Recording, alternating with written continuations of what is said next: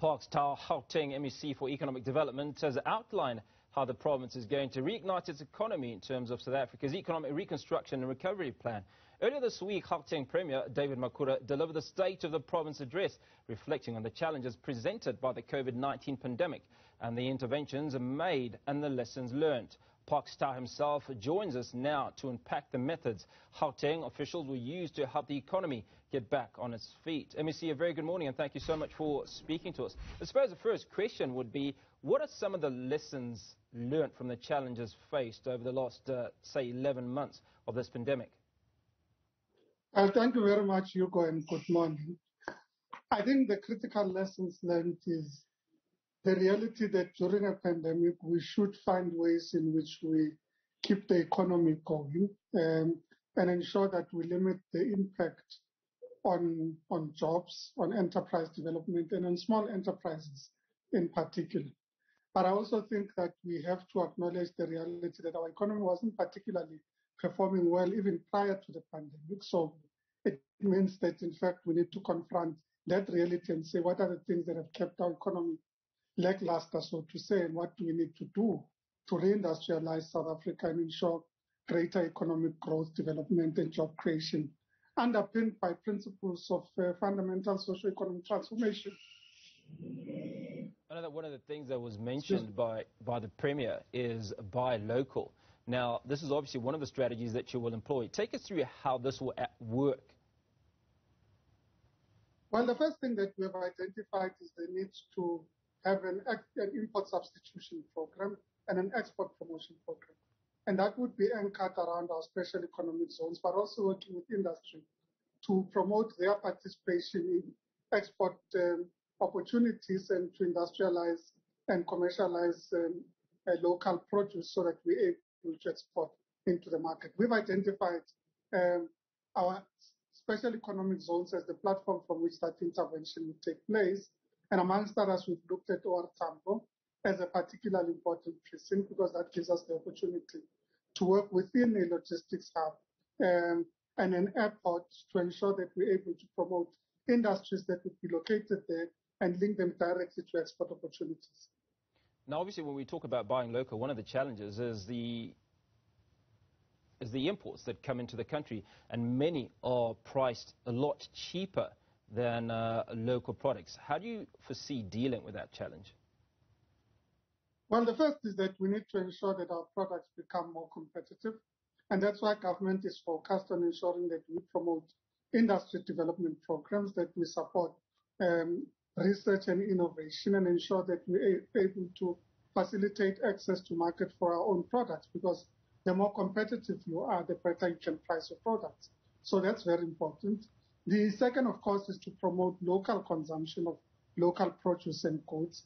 Um, and the third, I think, is a, is a macroeconomic issue. It has to do with uh, how government would deal with matters of taxation uh, and global negotiations around trade and investment. Well, let's talk about young people, something very close to the hearts of, of many people. Uh, a lot of young people unemployed amongst uh, incredibly high rates uh, on the on the continent. What is there? Is there a plan for young people? Our plans are underpinned by youth development, a particular focus on ensuring that we can support youth development. Um, Gauteng has identified and is implementing the Tshepo 1 million program focused on young people, both in terms of enabling them to gain access to opportunity. And these opportunities would range from skills development to job opportunities to enterprise development opportunities and partnering with the private sector so that we can uh, leverage off the energy and capability of our young people as a province and direct them to where the opportunities are. At a second level, we need to enhance our programs with regards to uh, relationships with TVET colleges and universities and target particular programs of training uh, in terms of identified sectors and ensure that young people are able to gain access to those opportunities. Now, on many shows on 405 here on Newzroom, we've spoken to many young people, and one of their biggest complaints has been timelines, that government has many, many plans, but we don't see those plans coming to fruition. Do we have timelines for this, MEC?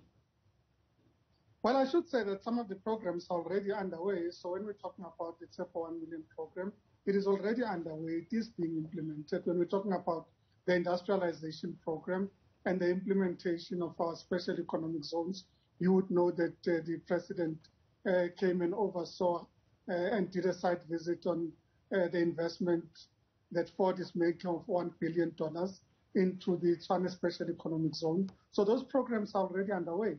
We are also enhancing partnerships around financing um, enterprise development um, and anticipate that we should be able to unveil a program within the next two to three months, working together with the private sector to ensure that we jointly invest in uh, financing um, uh, small enterprises and ensuring access to market.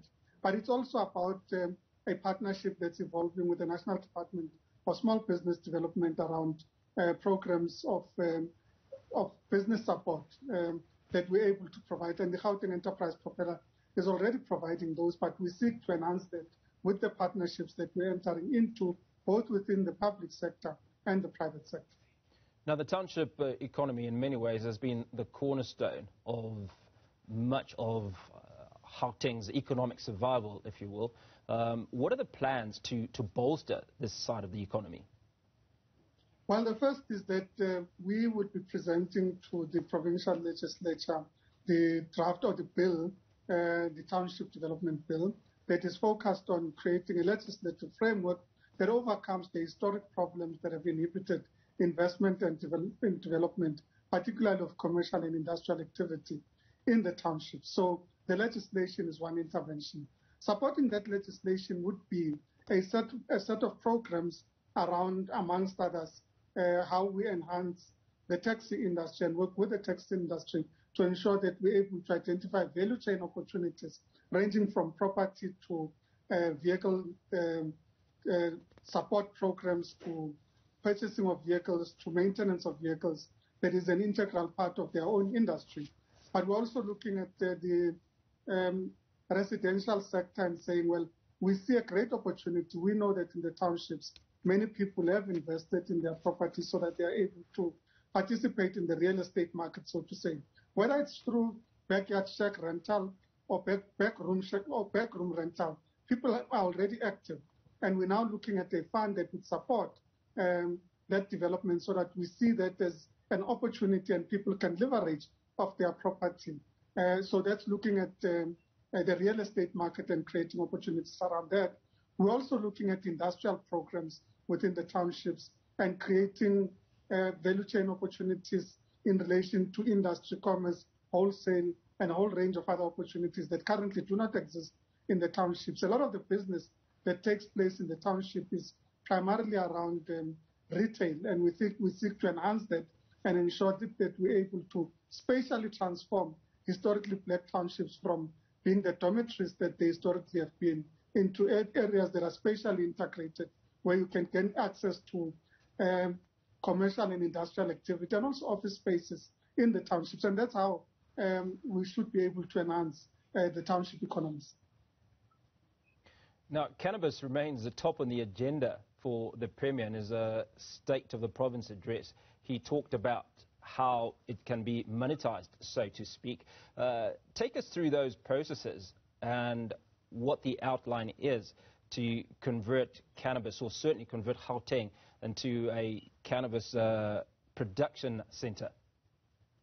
We're looking at uh, cannabis in, as, as, an industrial opportunity, particularly because as the Gauteng province, uh, agricultural opportunities are not that large, but we know that the concentration of industry in Gauteng enables us to, to, to leverage uh, the industrial activity that takes place in Gauteng. So we're looking at cannabis as a particular industry where there's new opportunities that are emerging.